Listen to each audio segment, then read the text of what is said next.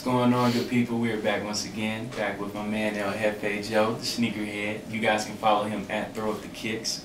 Since you have like your own Instagram and you started like marketing yourself and you just went like that extra mile, who do you feel just inspired you to just start stepping out, marketing yourself, try to just distribute sneakers? Who started that for you? Uh, I mean, I, there's this guy on Instagram uh, at Benjamin Kicks. Gotcha. Yeah, I know Ben's. Yeah, he, he's like 17 years Yeah. old. He's dope, Selling. man.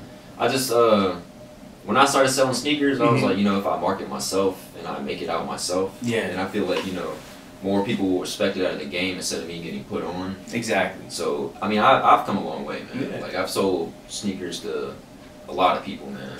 A lot. That's amazing. A lot of different type of people too. Yeah, all just different demographics. Oh, yeah. that's perfect because people always say like millennials we can't like market ourselves or go out there and we think that everything is just like handed to us. But I can just firmly attest. I know Joe personally, so seeing how he's changed everything is possible. So for all those kids out there that's trying to start like their own business, what's that?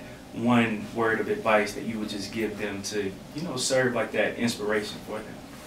And it's mental toughness, man. Got you. Starting a business, it's it's not easy. You know, Yeah. I'm still informal, Mhm. but you know, I'm headed to the towards being Formal aspect. Yeah, yeah. Yeah. yeah. Most But it, it's all about mental toughness, man. You know, Gotcha. start starting a business, you got tough times. You Yeah. lose money sometimes. Yeah. Sometimes you make a lot of money. Mhm. So it's all about staying focused and knowing that you got it. 'Cause, you know, it's in the business world, you, you will lose money. yeah. You will lose money. Hey, it's all part of the process. Yeah. So Joe, seeing that you're in school, you're working, you have your own business, how do you do it? How is it possible? Uh, man, I don't sleep a lot. Yeah. But uh.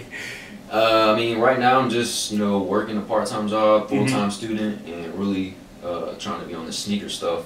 I'm part-time right now, but Mhm. if in the summer I'll be I'll be more into it. But it, it's tough, man, because if I wasn't in school, I'd be Yeah. more involved in the, in the sneaker culture, Yeah. or sneaker selling. yeah, I believe it. Yeah, a lot of dudes who are selling shoes right now, they um they're full-time. You know, they're not tough. they're not in school. I'm Yeah. in school. That's the difference, you know. And working. And working, yeah, Still making it happen. trying, man. Yeah. Joe, people always say that somebody's background molds them.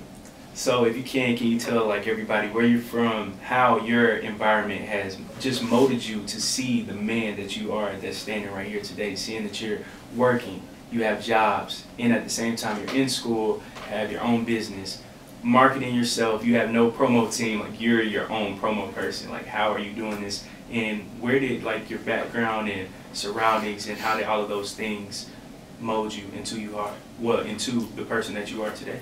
Uh, I was born in Atlanta, but I was raised in uh, Tyrone, uh, Gotcha. Fayette County. You know? Yeah, yeah. So uh, you know, my parents raised me well. My, my dad's always told me, yo, you got to go get it. Mhm. You know, no, no nothing's gonna be handed to you. Yeah. So my dad definitely inspired me. Shout out to my dad and my mom. You know, Yeah. my dad's just always told me, you know, you got to make the right business decisions. Mhm. Always surrounding myself with, uh, with people like you. You know, Nick, Phil. Yeah.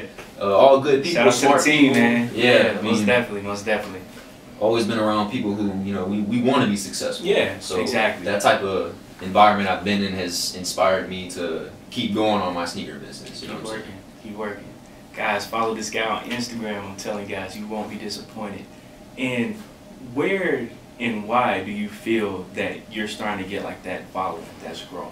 I know that you're doing like your own promo and stuff, but how is it actually being effective? How is that possible? Um, I think people see that I'm doing it on my own, Mhm. so they're kind of respecting it more. Yeah. You know, when I uh, when I post a picture on Instagram, you know, I get I get a lot of DMs sometimes. Yeah. Sometimes from uh like local Atlanta rappers, not not too mainstream, but Yeah, you know people it's trying somebody. to somebody, somebody. somebody. So I think that uh, you know, me just pushing myself is definitely helping me because I, I trust me, I've came a long way, man. I, had- I, went, I had zero followers, now I got a hundred. I'll have a thousand in a few months, man. Hopefully. growing, growing. Who is that one businessman that has inspired you? Not like sneakers wise, but just like overall. Like who's that person that made you just say, I have to grind just like that, or maybe even harder just to get to where I have to get to?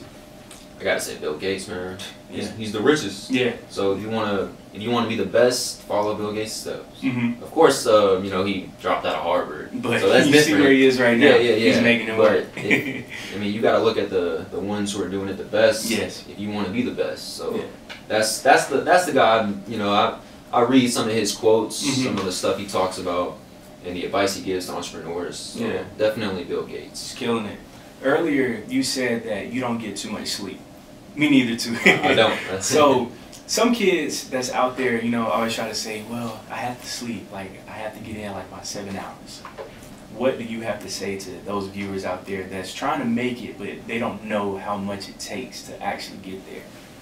Uh, I mean, I want to say, you know, sleep is definitely important. Yeah. But if you want to do what you want to do, do it at a young age. Yeah. You know, invest your time right now, so you can get a, a greater return later. You Most know, right now I'm not getting. I'm getting five hours of sleep, four Yeah. hours of sleep. And still going. Yeah. I mean, I'm investing my time right now, so Mhm. in the future, I want to be working for myself. You know, retired, That's being cool. 30, 40 years old, sleeping in whenever I want to. I want to wake up. Already earned it. Yeah, I want to wake up to a to a check.